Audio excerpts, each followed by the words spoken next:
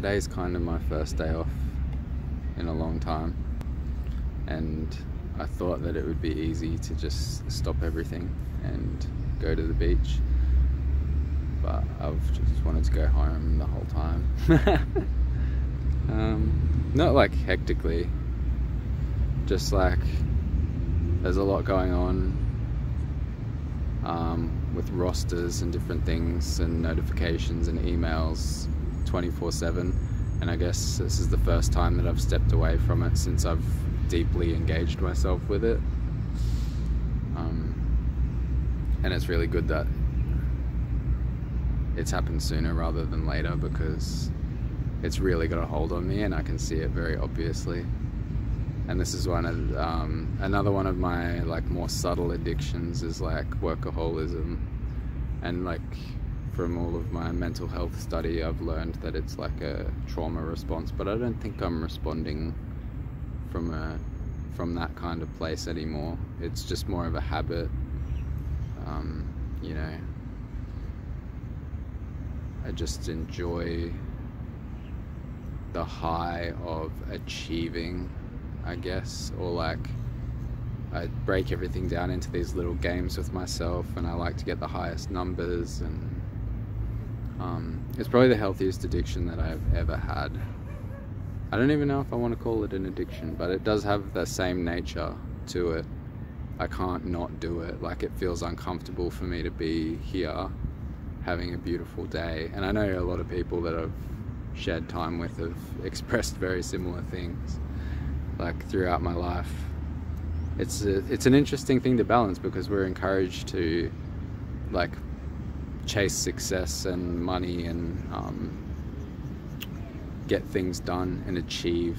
So, like, it's like when I worked in the tattoo studio and for other businesses like that.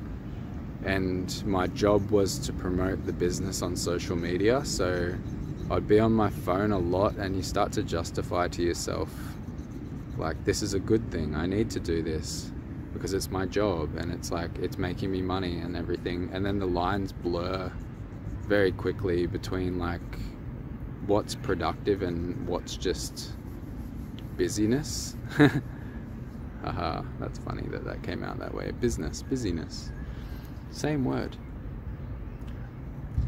But um, yeah what am i even trying to say? I don't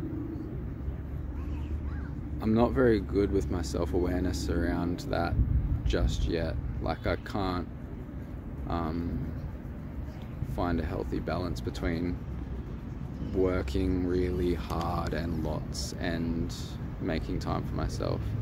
But I also understand all of the things about relaxing and um, like if I don't make time for myself then I'll burn myself out and I'll be no use to anybody because like uh, the average person would say the kind of work that we do is quite emotionally um, draining I guess is the word that they use but I don't really find it that way. I find that the more time I spend with people and you know just I, I find that I just learn from people and I really enjoy the experiences more than anything. And it's weird. I think it, the lens that you look through determines how stressful your job is. Like if you decide that your job is hard work and um, it's nothing but problems and you start to tell yourself this really negative story about it, then you're going to constantly reinforce that story and you're not going to enjoy it.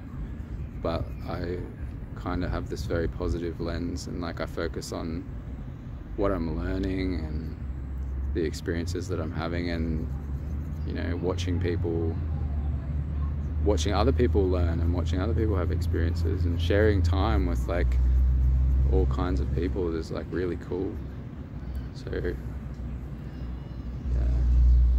I'm learning a whole new boundary, I guess. Like a new boundary for like because working with people it's, it's I guess it's got that similarity with working with social media where like you can't turn people off and on like they're always um, doing what they do whether whether they are like whatever position they are in relation to you and your job if you're working with people like people are always on so it's the same as like working with social media um, I think social media was actually probably even easier because there are the active times where the users are engaged um, whereas people are a bit more sporadic like I guess with business it's supposed to be like nine to five but it's really not especially in this technological age where we have like this computer in our pocket where everybody can access each other. Um, yeah, this isn't the normal thing that I would journal about at all, but I'm forgetting about what's normal and not normal for me to journal about as well because my story is evolving in so many different directions. I'm just going to forget about trying to do anything.